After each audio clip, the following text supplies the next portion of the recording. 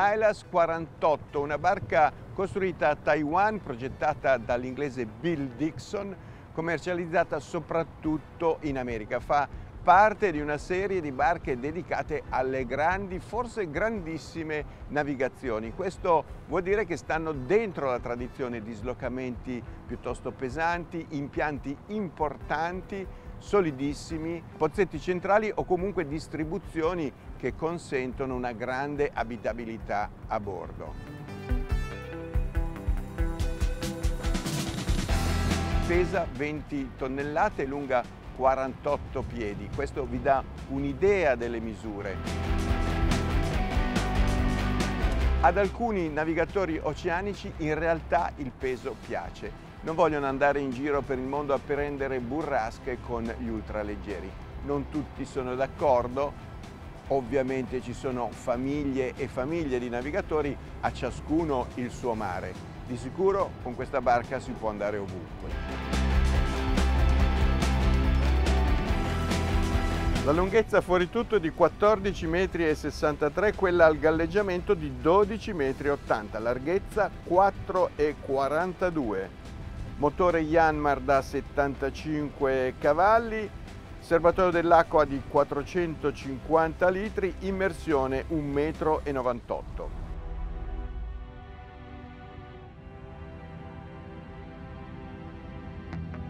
a prua vele per navigare in ogni condizione, la trinchetta autovirante per l'heavy weather e un fiocco in testa d'albero azionato da un avvolgitore elettrico.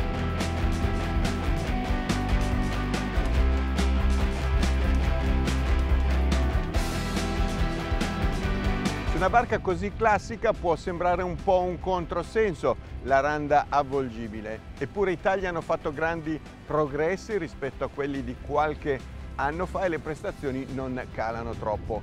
Aumenta invece tantissimo la sicurezza. Dal pozzetto, ben protetti, si può manovrare. Particolari della tradizione, un caro vecchio Dorad che prende il nome dalla barca di Olin Stephens, appunto Dorad, su cui lui per la prima volta sperimentò queste cassette per portare aria all'interno della barca.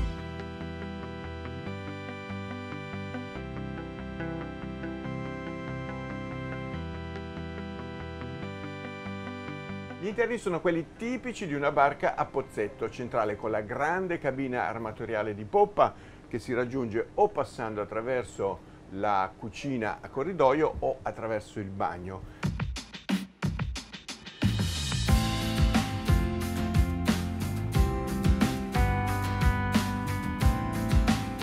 Non sempre queste barche hanno la doppia porta del bagno per una doppia circolazione, questa ce l'ha e la troviamo comoda. A prua una cabina a letti sovrapposti, un'altra cabina matrimoniale e un bagno. La cucina a corridoio ha i suoi vantaggi, il baricentro è basso, ci si può reggere in caso di mare mosso. Una barca Blue Water che ha l'ambizione di navigare a lungo ha tanto posto per le provviste. Qui due frigo o freezer sono ovviamente modulabili come tutti i componenti moderni con le porte verticali. Ed ecco la cabina di poppa, il luogo preferito dall'armatore che sceglie molto spesso questa configurazione con il pozzetto centrale proprio per avere questo spazio così grande e così ampio. I vantaggi sono anche di stare in una cabina che si muove un po' meno rispetto a quelli di prua e di avere una vista anche verso poppa, che non è male soprattutto se si dorme in rada. È una barca classica negli interni, nei legni, nelle finiture per chi cerca la tradizione ha le risposte giuste, come questo bel tavolo da carteggio.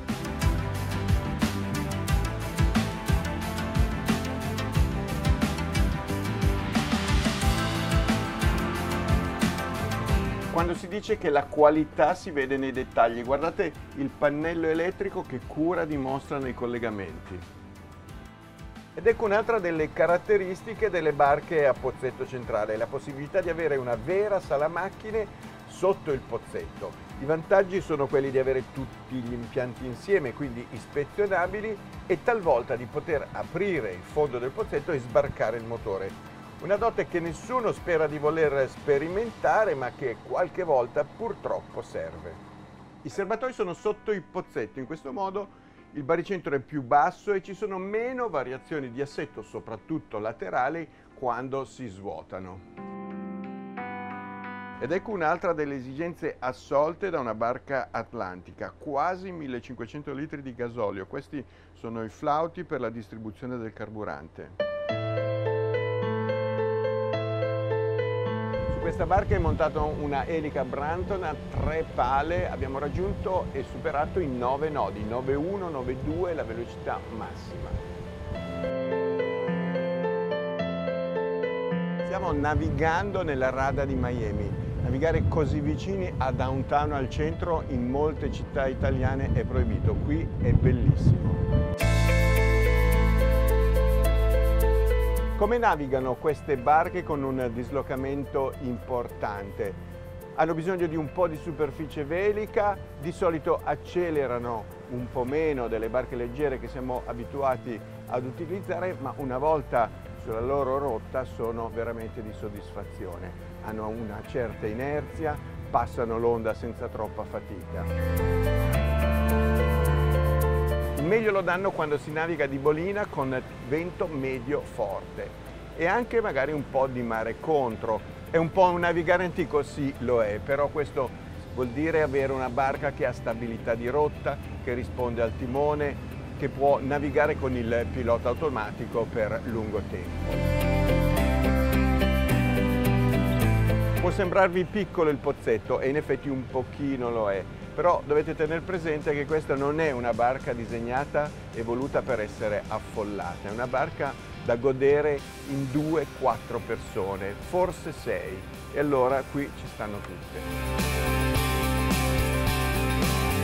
Ecco qua il posto del capitano, voi ci scherzate su su questi seggiolini, ma qui io vedo assolutamente bene davanti, sono comodo, posso avere in mano il telecomando del pilota automatico quando si naviga in trasferimento sta una bellezza.